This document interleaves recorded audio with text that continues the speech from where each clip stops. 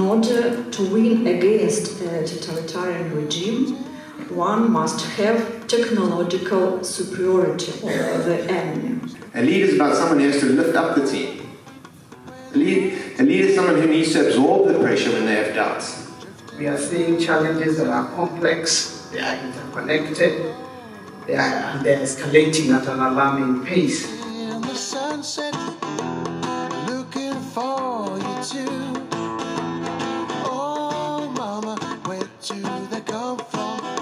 Today, the leaders, I talk about the four C's of leadership courage, confidence, communication, and conviction. I, I believe that the most important thing is to have a clear objective because once you know where you want to go, uh, you can figure out how to get there. And that requires what I believe is the most important thing of leadership, which is to prioritize. Well, what's required of leaders is vision, drive, charisma, an ability to galvanize people for a common cause. A leadership should know how to communicate to its people. The message that should be sent uh, to the masses should be clear.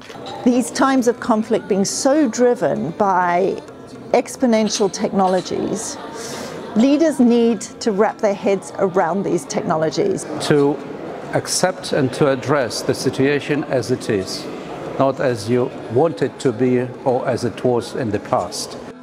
They have to put their head above the parapet and they have to lead by example.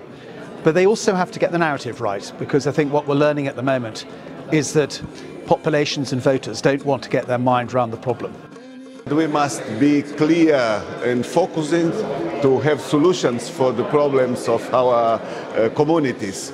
First is that we must embrace peace.